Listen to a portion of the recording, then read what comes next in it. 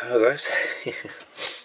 um, I'm really at a loss at what kind of videos to make. To be honest with you, the last few little few days, kind of, kind of in limbo for video ideas.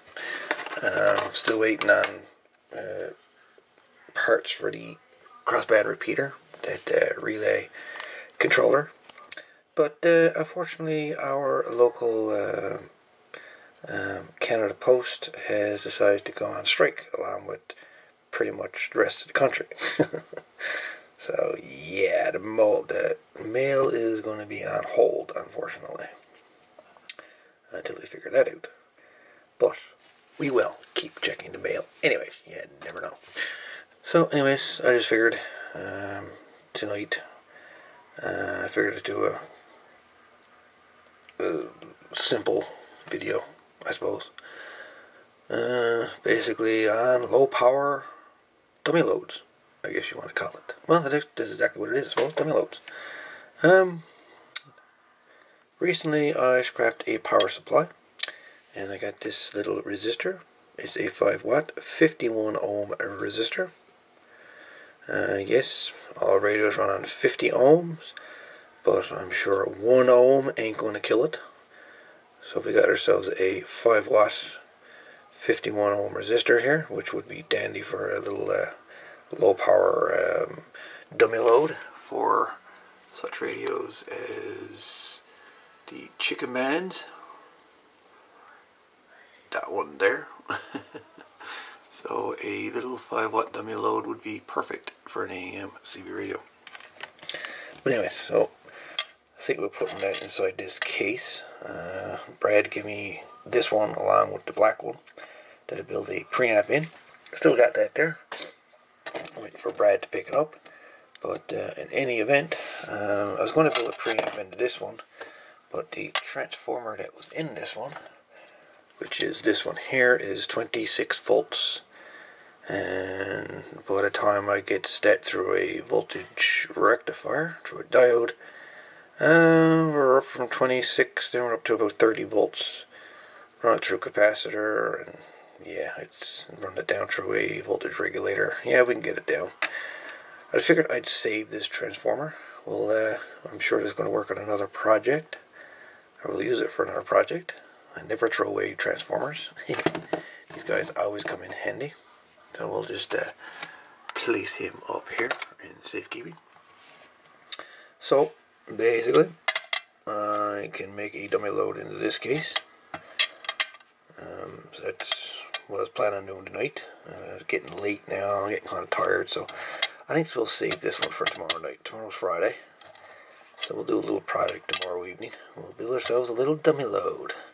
A little 5 watt 51 ohm dummy load. But tonight tonight I figured well we're on the topic of dummy loads well, this is a commercial grade 75 ohm half watt dummy load. And um, I figured, you know something? What I would do is show you um, how easy it is to make a dummy load for your radio. It's quite easy.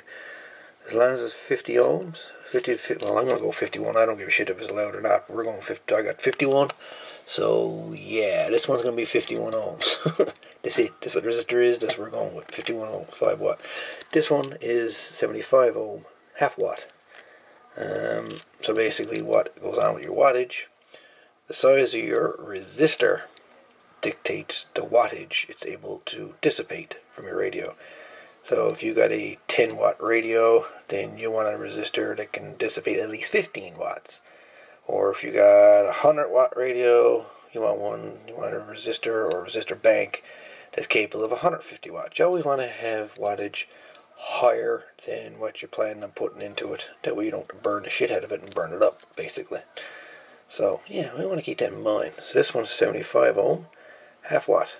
And we're going to pull this one apart and we're going to show you how simple a commercial type dummy load is and how you can practically uh, put a regular resistor inside a PL259 and have it as your own dummy load. Very simple. So we're going to very easily, simply disassemble this contraption here. And we're going to show you how to easily make a dummy load for a radio. Very simple. After actually after you see this, this is too simple. But anyways, let's uh, let's take her apart until I show you what's going on. So yeah, got a couple viewers out there. Uh, one of them says they can watch my videos all night long. well, I got like 410 videos or something, so knock yourself out. Anyways, so let's uh, pull this off. First off, we got this red cap. It just comes off. You can take the ring off the uh, off this connector, unscrew it.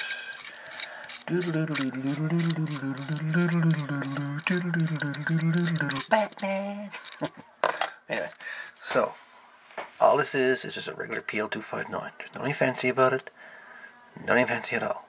But what is cool about it, to make this a dummy load, if you look down there, down there, you see down there, there's a resistor down there. Mm-hmm. Yep, there's a resistor down there. That is a 75 ohm half watt resistor. Hence why it's 75 ohm half watt. because the resistor is 75 ohm and it's half watt.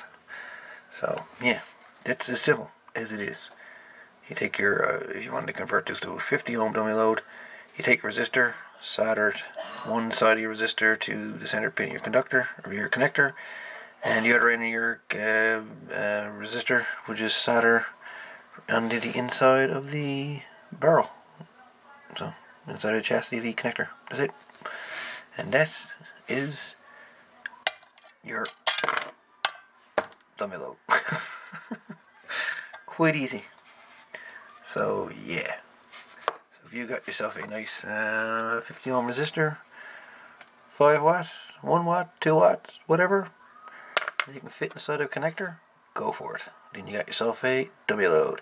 A dummy load in a connector. Easy. Anyways, this is a very stupid video, I know, but hey. Sometimes stupid is good. Anyways, take it easy, boys. All the best. Before I go, uh, you're probably wondering what I was planning on doing with this resistor. So let's get rid of this. And basically what I'm planning on doing is taking this here connector, either this one or a BNC. Probably gonna stop her here.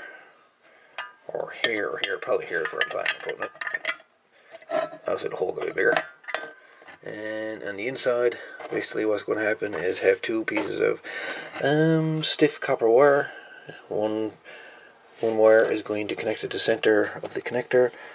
It'll solder to one pin on this resistor and then the other side of this resistor would then solder to the case which would then be my 51 ohm a 5 watt. Dummy load. And uh, if you want to make more wattage you just add more of these critters and yeah 5 watt 10 watt 15 20 25 30 35 40 45 50 keep multiplying, yeah, and you get more wattage. So, yeah, more resistors, more wattage. Anyways, take it easy. Hope you enjoyed the video. It's foolish what it is, but hey, it's a video. Anyway, guys, take it easy. Radio 63, out. Adios.